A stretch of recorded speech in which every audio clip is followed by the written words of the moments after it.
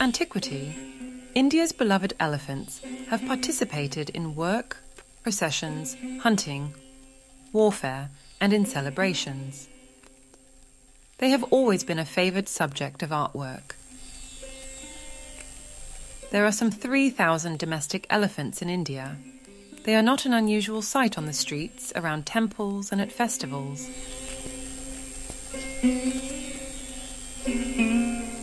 But many more elephants, about 30,000, are much more rarely seen, living their lives in the wild. In this meadow near Aralam Wildlife Sanctuary, footprints show that they have recently passed. Pressure from India's human population means that wild elephants now occupy only 5% of their historic range. Asian elephants spend around 16 hours a day eating grass, brush, and bark. They are an edge species. They do well just outside of forest boundaries. That means they may intrude on farmland and plantations. In areas like this one, humans and elephants must jostle for space in an increasingly human dominated landscape. This electric fence, powered by solar energy, is intended to keep elephants from intruding on the family's garden.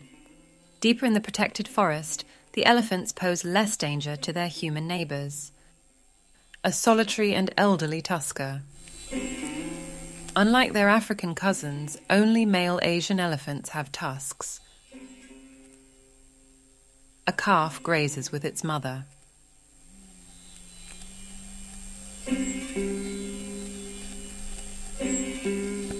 For now, the grass is a supplement to breast milk.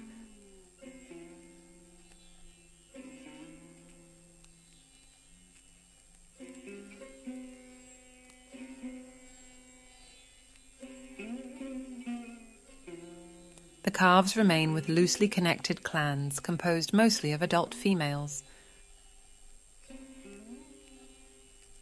Sometimes juveniles help take care of younger calves.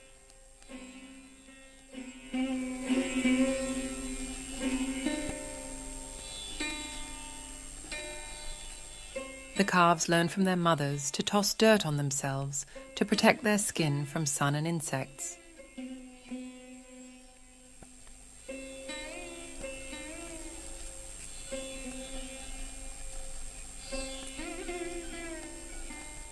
Today, wild elephants roam only a sliver of their once vast territory as human landscapes nudge against their ancient habitats.